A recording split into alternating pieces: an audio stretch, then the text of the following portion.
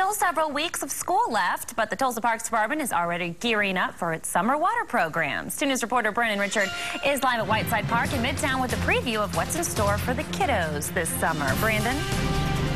Well, Marla, I don't know about you, but I could definitely go for a swim right now, but I don't think it's going to work out for me very much because, number one, I'm just overdressed. Number two, I couldn't really go and swim in this pool behind me because I'm too old, I'm too tall, it's locked, and there's no water in it, but there will be water in it on June 2nd, I promise. That's the date when this pool, along with four others like it, will open.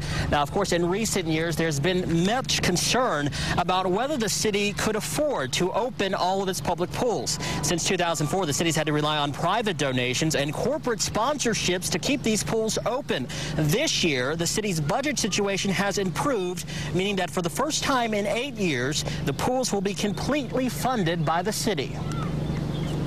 If nothing else, when there's nothing else to do, you can always go swimming. Whether it's uh, going to play in a water playground or a splash pad or just hanging out at the pool, it's just a great way to spend the summer.